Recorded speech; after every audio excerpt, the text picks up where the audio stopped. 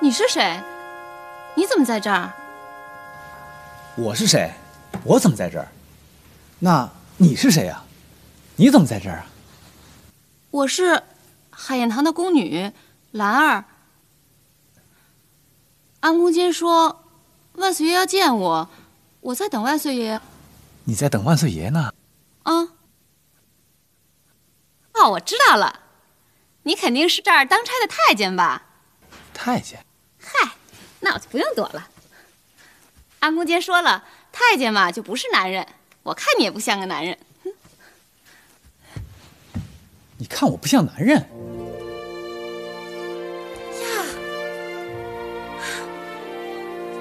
真漂亮，不愧是万岁爷住的地方。哎，你是不是一直在万岁爷身边啊？万岁爷长什么样啊？那你认为万岁该长成什么样啊？嗯，我听老人说呀。大清国的万岁爷嘛，都是人高马大、气宇轩昂的，反正应该很帅吧？外边的人都是这么说的。是啊，我想也得是。万岁爷要是个头不高、弱不禁风的样子，就跟一个白面书生似的，怎么镇得住人呢？那如果万岁爷真像你说的那样，弱不禁风、白面书生、个头不高的话，那又怎么样呢？不可能，我才不信呢。嘿，这个棒！哎，太棒了！等一下，你就要见皇上了，难道你不紧张吗？紧张啊！没想到见一次皇上这么麻烦。你说万岁爷找我干什么呀？哎，万岁爷要见了我们俩在聊天。会不会降什么杀头之罪啊？肯定不会。为什么？因为朕就是皇上。你皇上？对呀。你可太逗了！你看看你，嘴上都没长胡子呢，还说自己是能当皇上。朕真的是大清国的皇上。你是不是怕我紧张，所以跟我开玩笑啊？你还皇上呢？你倒是挺像我们胡同里那个张爷爷的书童，张爷爷总是这样喊：“小李本过来给爷爷挠挠痒痒。”哎，你们俩个头还差不多呢，嗯，确实挺像那个小李本的。生气了，怎么？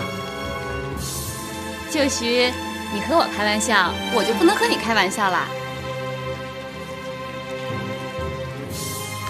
真不高兴啊！其实你长得还是挺帅的，眉宇间的确还有一些威严和灵气。如果你见到皇上，也敢这么乱讲话吗？那有什么不敢的？我要是见到皇上啦，我就要对皇上说，一定要把灵美姑娘的后事安顿好，要兴师动众的，就像民间出大殡那样，还要找人来给她守灵。这样啊，不仅可以告慰灵美姑娘的在天之灵，也可以化解汉人对满人多年的不满与仇恨。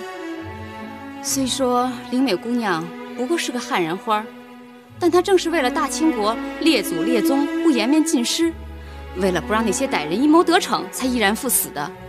像她这样的姑娘，真是可亲可气。我想，如果皇上真这么做的话，不仅可以得到万民的敬仰。而且还会乐得礼贤下士、有情重义的好名声，这样一举几得的好事，皇上为什么不做呀？兰姑娘说的极是，朕怎么没想到啊？继续说下去，真是越来越像了。什么越来越像了？你肯定在万岁爷身边待的时间不短了吧？学起万岁爷来还真是有模有样的。嗯，啊，兰姑娘，我问你。这皇宫里面除了皇上，还有别的男人吗？当然没有了。要是再有，不就乱套了？那你看我像不像男人？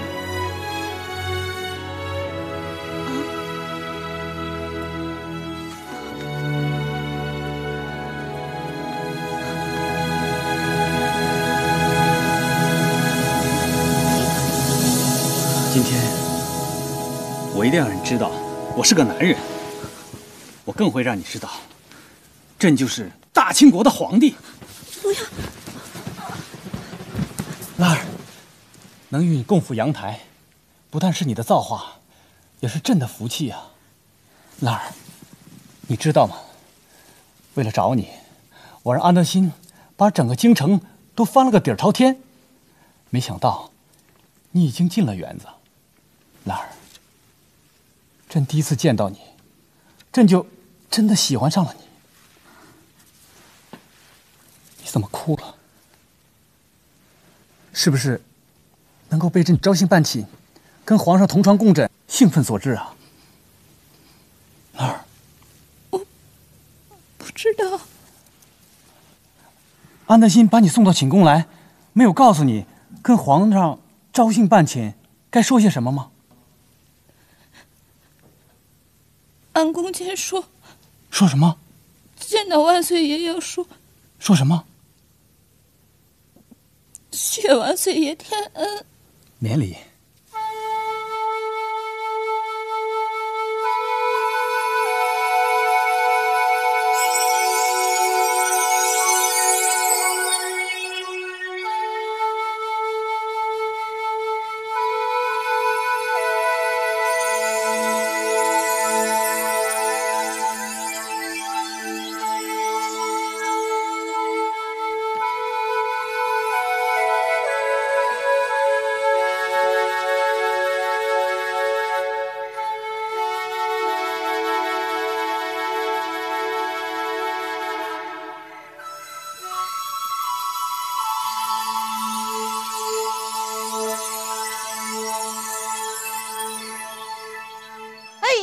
混账东西，连梳头你们都不会梳啊！我就这几根头发了，经得起你们这么往下薅吗？啊！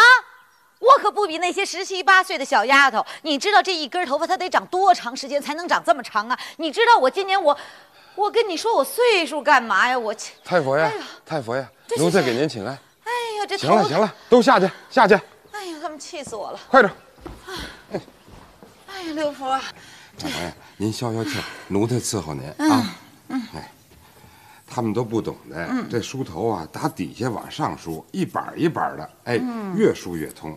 哎，你看刘福，你呀给我梳头就是梳惯了。我这头发别人还不能梳，他还认生。你这走了才几天呢，他们给我梳头，要不然弄断我几根头发都掉了，要不然弄得我头皮发痒。哎呦呵。就是你这手艺好啊，要不然宫里人给你起外号叫你刘梳头呢。嗯，谢太傅也夸奖。嗯，你说这顺亲王吧，他就是聪明，是不是？你刚入宫的时候他就看上你了呀？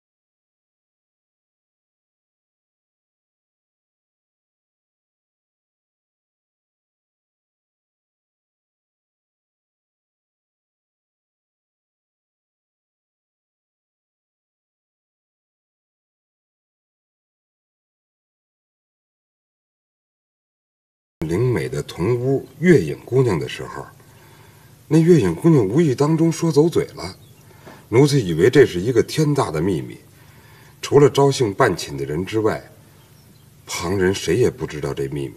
什么？月影姑娘从灵美嘴里头得知，说皇上，皇上没那个能力。什什么？哦，呃是皇上，呃男女苟合之事，皇上是做不成的。灵美姑娘跟皇上在一块儿的时候，那也就是呃嬉笑玩耍，之后就是陪皇上睡觉，就没有什么了。老七啊，臣在，这事儿你信吗？微臣不敢断言，但有一件事却是千真万确。什么？昨晚上，皇上宠幸了一名海晏堂的宫女。嗯、您说的不会是蓝姑娘吧？正是她。那奴才就明白了，怨不得昨儿个安德兴提醒我说，呃，别得罪这蓝姑娘，我还蒙在鼓里头呢。要是照安德兴这意思啊，皇上跟这蓝姑娘应该是早就认识啊。早就认识。皇上跟一宫女有来往，这可真是有点气死。不大可能吧？太妃，这个事不那么简单。刘总管，奴才在。你火速赶回园子，查清海晏堂宫女，也就是这个蓝姑娘的底细。查明之后，立刻禀报。奴才知道。太佛爷，那嗯，去吧。这老七啊，臣在。要是真如刘福所说，皇上没有生育能力，那立太子之事，真是天助我也。太傅爷，您不要仅凭刘福说的那番话，就认为皇上不可能生有子嗣。本来微臣想，让人在佛海上扔个死婴，有死就可以在园子里翻起轩然大波，不仅可以借此赶走园子里的汉人花儿，而且可以借死婴之事，降低皇上在园子里王公大臣中的威信。可没想到。刘福求功心切，竟让最主要的证人在自己的眼皮子底下死。只是这件事就此罢了。太妃，关于皇上昨天晚上宠幸宫女之事，非同小可，一定要速成。再一个，关于皇上的病，请容微臣派人秘密调查，一旦有什么消息。我立刻禀报太傅爷。嗯，就按你说的办吧。哎呀，你说这个刘福啊，其实他也没什么坏心眼儿，就像你说的，求功心切。你说这事儿都办到这份上了，他又让这当世的宫女死了，哎呀，这事儿。太妃爷，这也不能说刘府无能，有时候。人算不如天算，也是常有的事儿啊。嗯。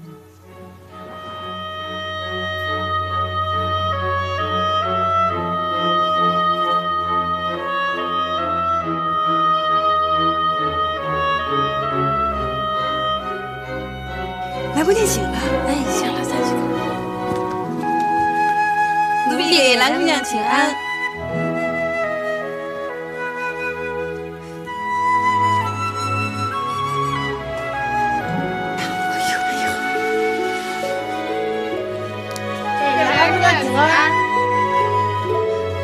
小粽子给兰姑娘请安，早膳已经备好了，请兰姑娘在偏殿洗漱完之后用膳。兰姑娘，小粽子，来了来了。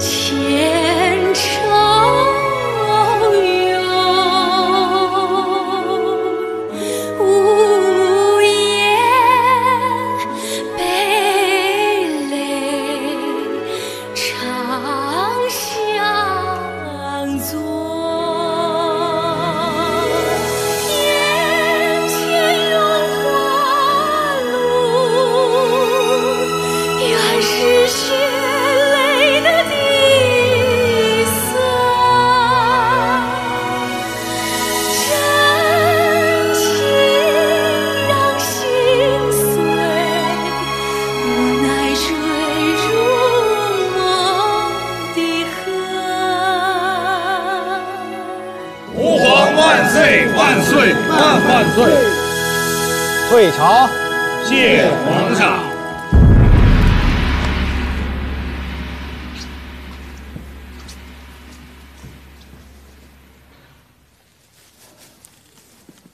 启禀皇上，刚才您与诸位大臣所言，灵美姑娘的后事，还要在园子里为她做法事。刚才朕已经宣布了，朕主意已定，就这么办。难道还有人敢抗命不成？道理很简单，朕的话也说得清清楚楚。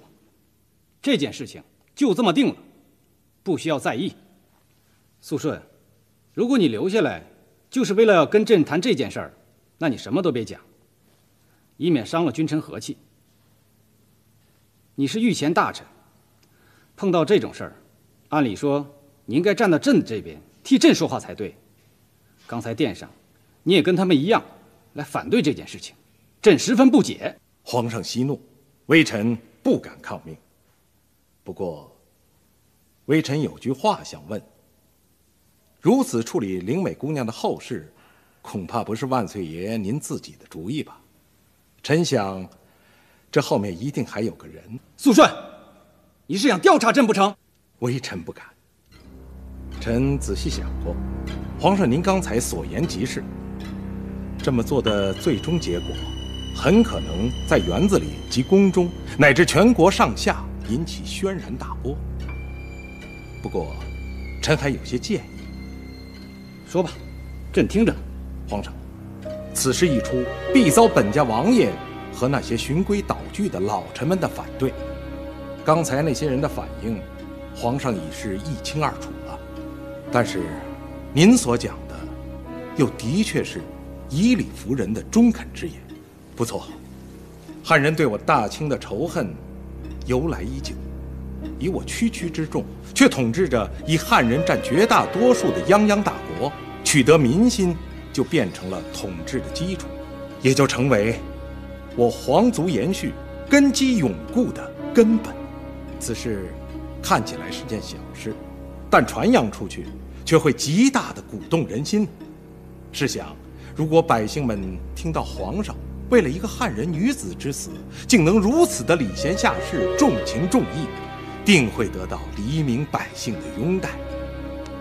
臣以为，皇上不如借此机会，遣散宫中的所有汉人花由此也就彻底打消了那些奸人们以汉人花为由，再次滋生事端。目前，内忧外扰，民心不定。臣以为，皇上尽早使嫔妃怀上子嗣，才是头等之大事。此事不解决。以太佛爷为首的想另立阿哥皇太子的势力，必定会穷追猛打。到那个时候，皇上您的处境可就更加危难。所以，臣以为，借给灵美姑娘出殡之时，将宫中的汉人花尽数遣散，并发放银两，以示皇恩浩荡。同时，如果皇上觉得宫中的秀女不满意，还可以另外选秀，以便。早得子嗣，使我大清国的龙脉得传，子嗣繁茂。此事还请皇上三思。这个主意不错，朕就按你说的办。再选秀女的事可以先放一放。朕目前心中就只有一个人，她就是给朕出主意的人——蓝姑娘。蓝姑娘，正是。朕去白云观抽过签，道长算的真准。当时朕还十分怀疑，没想到这么快就变成事实了。他说：“朕一定会碰到一个女子，而这个女子一定会为朕生一个儿子，她的名字当中有一个‘兰’字。”没想到这么快变灵验。如果此次兰姑娘真的为朕生下儿子，朕一定下令重修白云观，为庙里的神仙塑金身。怪不得。臣见皇上今日印堂发亮，定是鸿运当头。没想到皇上得此兰姑娘，竟然如此的龙颜大悦，说起话来如珠落玉盘，这真是人逢喜事精神爽啊！此言说的极是，这正是朕此时的心境。我就知道，御前大臣中，就你最聪明，所以朕此时的心境全被你猜中了。谢皇上的夸奖，臣在这儿也给皇上贺喜了。此事的确可喜可贺。你想啊，朕不但得到了心上的人，而且园子里的死婴之事也风平浪静了，真可谓双喜临门呐！皇上，臣还有句话，不知当讲不当讲？讲。近前说话。谢皇上。俗话说：“福无双至，祸不单行。”虽然园子里死婴走影之事得以平息，但臣怀疑新的暗流仍会涌动。皇上您不得不防啊。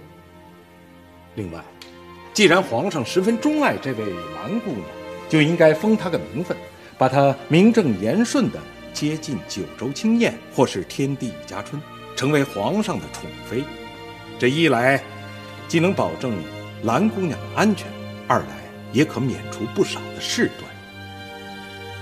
皇上，臣有一种预感，这位蓝姑娘必定是一位十分聪慧的女子，弄不好，她可能很快就会成为宫中那些本家王爷的眼中钉、肉中刺了。一旦他们弄出点什么事儿，或者……或者加害蓝姑娘，到那个时候后悔可就晚了。好，朕就听你的。今天晚上招幸兰姑娘，朕就正式册封。皇上圣明。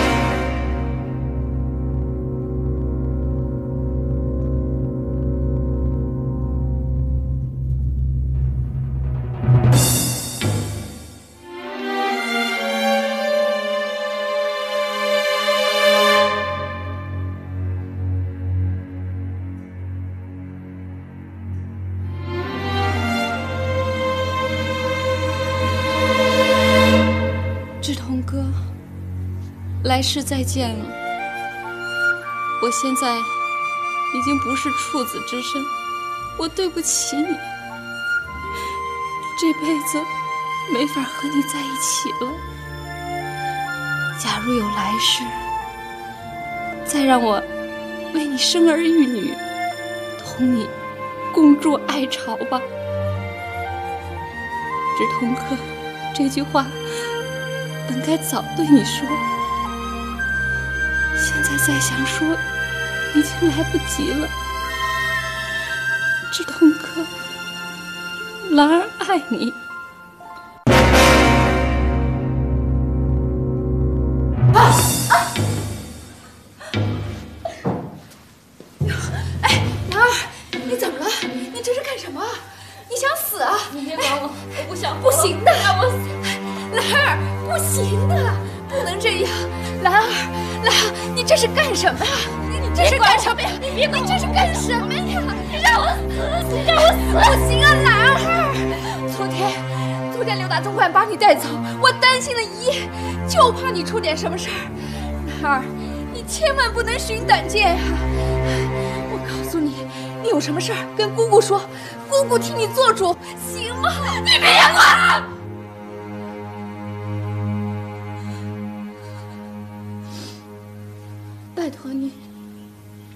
把桌上的信和玉镯交给我的家人，就说兰儿走了。